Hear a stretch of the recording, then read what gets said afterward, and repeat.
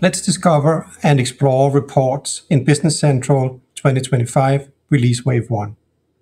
In this video, I'm going to show you three different ways you can do that with the new experience in the Report Explorer um, directly from our documentation in Microsoft Learn or from the report help on the request page. So let's dive into Business Central and look at Report Explorer. You can get to the Report Explorer in a number of ways. For instance, if you open Tell Me search, you find a link here to exploring reports. So that's the first way. The second way is to use the symbol here for opening the Role Explorer. And then from here, explore more roles. And here under reports and analysis, that is the shortcut to the Report Explorer. And the final option, if I just go back to the Role Center here, is uh, simply to use the link on top of all role centers, all reports. This also takes you directly to the Report Explorer. Let me start by collapsing all the different roles.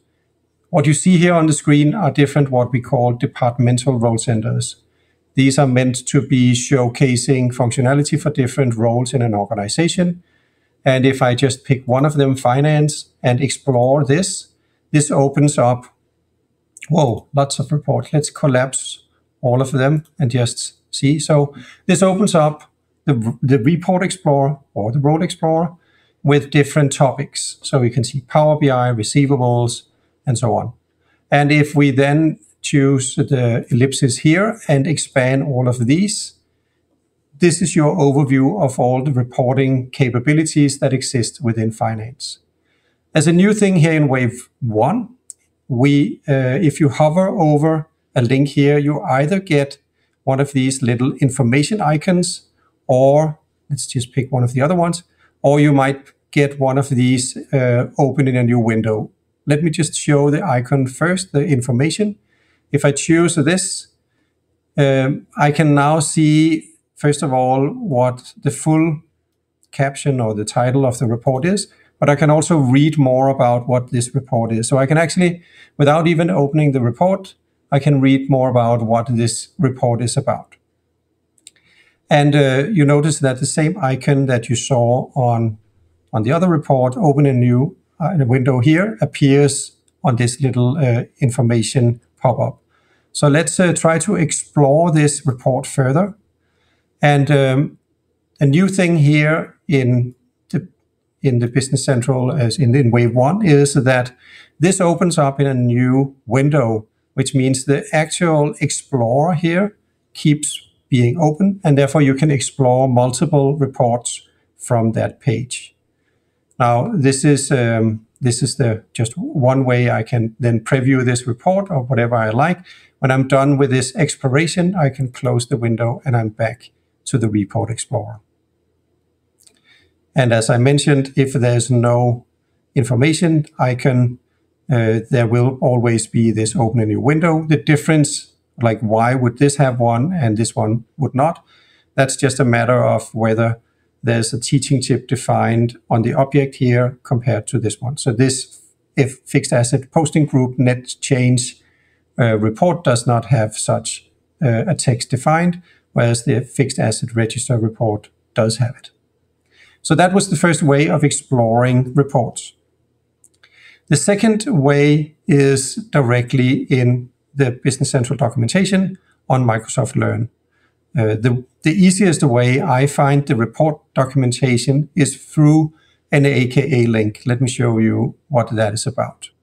Business Central documentation have many of these AKA links. They are called AKA links because they all start with aka.ms forward slash something typically BC and then something. And for the for this link BC Analytics, if I choose this, it will open up the overview of everything in Analytics in Business Central. And here in the table of content, I can choose built-in reports and choose the first link, report overview. And this article gives a complete overview, almost complete overview of the reports that exist in Business Central these are ordered by the, the, the functional area. So if you're interested in, say, sales reports, you can choose that, and that gives you um, this table with, first of all, scenario, so an analytic scenario of, of the first report, what you can use it for. Uh, the second link here is a link directly to Business Central, so you can open the report directly in Business Central from documentation. If you use this little tip of Control plus Select when you when you select the link, it will open up in a new window, so you still keep the exploration page here open. And finally, each of these come with an article that describe um, the usage of this particular report. So, for instance, it, it's there's some description about what the report shows, and then there are use cases described for different personas that could be where this report could be of interest. And then finally, down here, there's a try the report link. If I use this link, I will just go back to Business Central. I will again use this control key plus select to open this in a new window. And this will then open the request page for the customer top 10 list Excel um, in a new window. Let's just have a look. And now um, I can try the report here. The third option of discovering report content, let's just go back to the Report Explorer and, uh, and open a report from there. And let's choose the fixed asset book value one report again. Now I just open it directly from the Report Explorer and I get the request page. If you, for many of these reports, if you choose the title here or caption, it will open up uh, something called a teaching tip. This also works even if you have turned off teaching tip by default. You can still get to the teaching tip by clicking that uh, link. If you want to dive further, and you don't have to do this, but you could also just open the help pane and the same text will appear over here if that text had been defined on the object on the report.